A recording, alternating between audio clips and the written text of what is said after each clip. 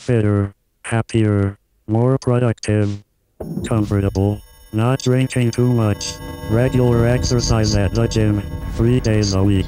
getting on better with your associate employee contemporaries, at ease, eating well, no more microwave dinners and saturated fats, a patient better driver, a safer car, baby smiling in backseat, sleeping well, no bad dreams, no paranoia, careful to all animals, never washing spiders. Down a plug hole, keep in contact with old friends, enjoy a drink now and then, will frequently check credit at moral, bank, hole in wall, favors for favors, fond but not in love, charity standing orders, on Sundays reading road supermarket,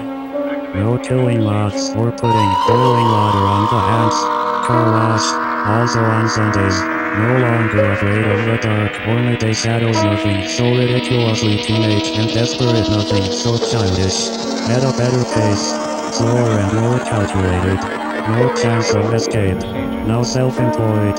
concerned, but powerless, an empowered and informed member of society, pragmatism not idealism, will not cry in public, less chance of illness.